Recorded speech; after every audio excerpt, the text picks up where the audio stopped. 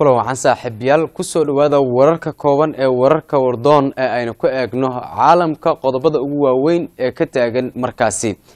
Haddii aan ku bilaabano dalkaasi afghanistan qarax ayaa ka dhacay warar kala duwan oo dheeraad ah ayaana ka soo baxaya qaraxa ka dhacay dalkaasi afghanistan.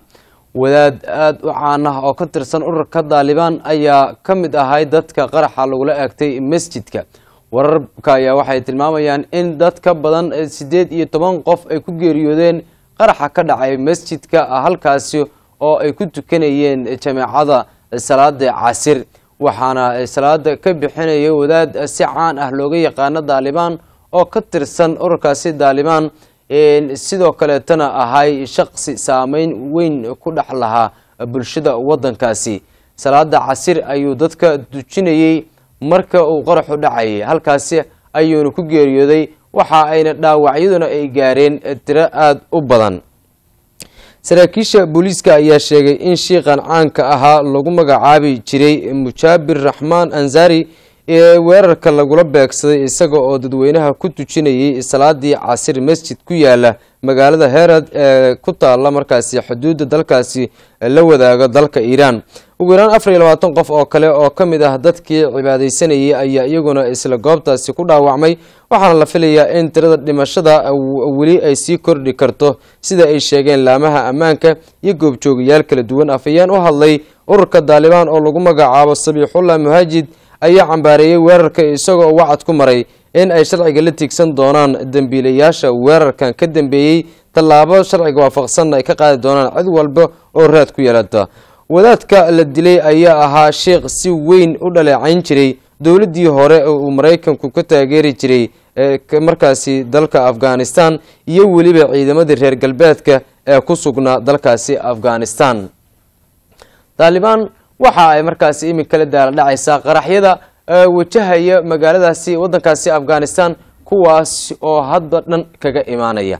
Qodobada kalena haddii aan eego saaxiibayaal ee dalka nigeria waxa ay qaati ka taagan yihiin burcad xad ama xatooyo u geysata shidaalka dalkaasi. Agaasimaha maamulka shirkada shidaalka ee dalka nigeria ayaa toddobaadkan sheegay in maalin walba dalka nigeria laga xado shidaal gaaraya ilaa iyo laba boqol oo kun oo fuusto oo shidaal ah. Taasi oo ay xadayaan tuu ku kala markaasi fidsan qeybaha kala duwan ee bulshada. Hase ahaatee arrintaasi ayaa buuq weyn dhalisay kadib markii agaasimuhu uu tilmaamay in shidaalkan markii la xado lagu qariyo masaajidyada iyo sidoo kaleeto kiniisadaha waxa uuna tilmaamay in ay yihiin meelaha ugu sahlan ee lagu qariyo shidaalkan markii la soo xado ee kiniisadaha iyo masaajidada. Arrintaasi ayaana dhalisay buuqa weyn ee hareeyey. Hadalkiisi ku aadanay in dhac loo geysto shidaalka dhuunta shidaalka qaata ee dalkaasi oo uu sheegay in in ka badan laba boqoloo kun oo fuusto oo shidaal ah maalin walba laga leexsado dhuunta shidaalka qaata ee dalkaasi. Waxa uu sheegay agaasimaha uu khudbad ka jeedinayay shirka toddobaadlaha ah ay yeeshaan golaha wasiirada ka dhaca xarunta madaxtooyada ayuu ku sheegay in mid ka mid ah goobaha shidaalka laga soo saaro oo ku taala dhinaca badda in laga xaday sagaashan iyo shan boqolkiiba shidaalkii la soo saaray sarkaalkan shirkada u hadlayey waxa uu tusaale u soo qaatay in mid ka mid ah dhuumaha shidaalka qaada ee dherarkeedu yahay laba boqol oo kilomitir in laga dalooliyey ilaa iyo laba boqol sagaashan iyo shan meelood si shidaalkaasi loo leexsado. Waxa uuna sheegay in dalku iminka uu la dhacayo xaalada ku aadan shidaalkaasi.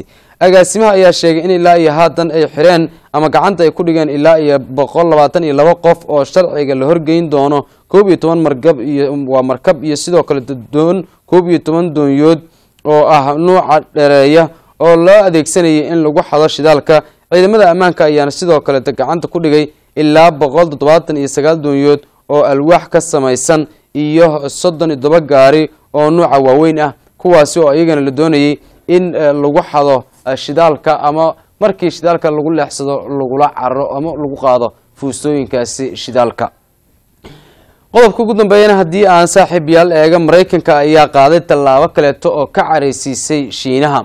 Maraykanka iyo shiinaha ayaa xaraarada xiisada siyaasadeed ee ka dhexaysa waxa ay gaartay halka ugu sarreysa heerkulka waxaana ka taagan arinta u dhexaysa taiwan ay isku hayaan. Maraykanka ayaa ogolaaday in uu taiwan ka iibinayo hub ku kacayo hal dhibic hal bilyan oo doolarka maraykanka taasi oo ka caraysiisa shiinaha. Heshiiska hubka waxaa ka mid ah nidaamka raadeerka si loola socdo weerarada soo socda iyo aaladaha ka hortaga gantaalada lagu soo rido ee maraakiibta. Tallaabadan ayaa timid kadib markii afhayeenka aqalka wakiilada maraykanka ee nancy bolisi ay bishii hore noqotay mas'uulkii ugu sarreeyey ee maraykan ah muddo shan iyo labaatan sano ah booqasho ku taga jasiiradaasi taiwan. Safaaradda shiinaha ee washington ayaa ugu baaqday maraykanka in uu ka noqdo heshiiska haddii kaleeto uu wajihi doono tallaabo cawaaqib xun ka dhalata oo liddu ku ah tallaabada ay qaadeen. Afhayeenka oo lagu magacaabo leo binyo ayaa sheegay in heshiisku uu si weyn u carqaladaynayo xiriirka washington iyo beijing waxauna sidoo kaleeto uu dul istaagay in ay tahay wax laga xumaado in maraykanku iminka uu hubeynayo taiwan. Arrinta taiwan ayaana maraykanka iyo shiinaha waxay ka dhex xurinaysaa coolaad sii lixaadsanaysa oo u muuqata inay isku bedeli karto mid gacanka hadal ah. Qodobkaas ayaan ugu dambeeyey saaxiibyaal warkii koobnaay ee wararka wardoon. Anigu suudaaniya idin marinay tan iyo kulan dambe nabadgelyo. Ka farxi ehelkaaga asxaabtaada iyo qaraabadaada. U la soo deg abka dahabshiil si aad si fudud lacag ugu dirto. Marka aad la soo degto ablicathonka dahabshiil ee aad lacag ka dirayso isticmaal koorka khadmad la'aanta ee tree free oo kuu sahlaya in saddexda jeer ee ugu horreeya ee aad lacag dirayso aan wax khidmad ah lagaa qaadin ده هول هو الفضيديها جمال يديت